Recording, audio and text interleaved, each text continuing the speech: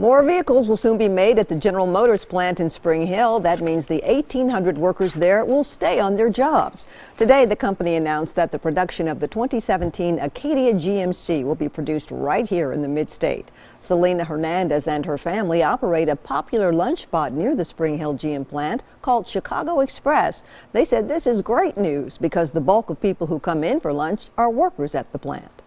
We all came from the Chicago, and um, my uncles they used to work at Chicago Restaurant in Chicago, so they all brought the idea from there.